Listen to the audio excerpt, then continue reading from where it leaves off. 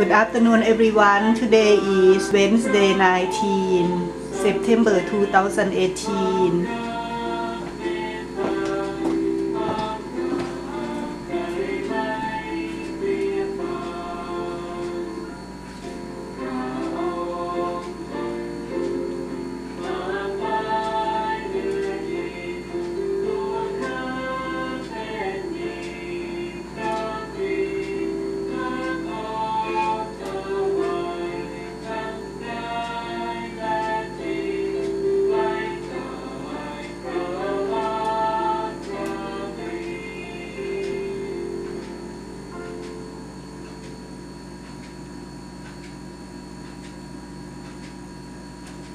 ลงพระโลหิตของพระเยซูไหล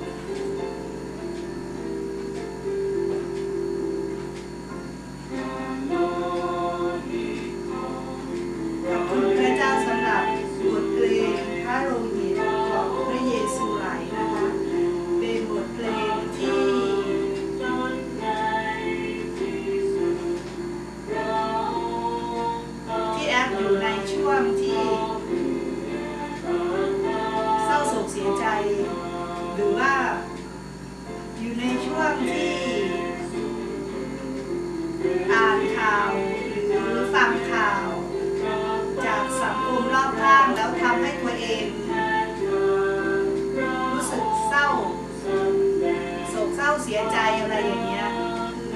คือว่าทำไมสาเหตุทำไมแอฟฟังเพลงพระเยซู เพราะว่าเรื่องของพระเยซูก็น่าเศร้าใจเพราะว่า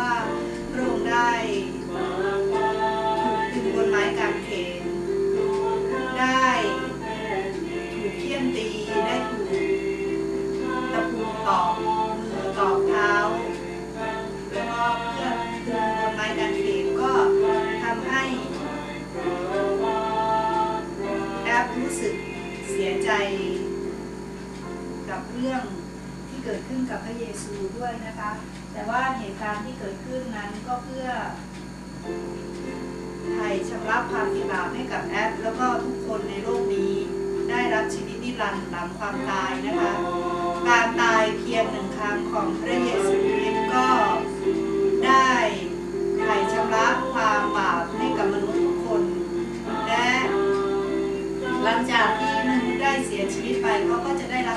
รับ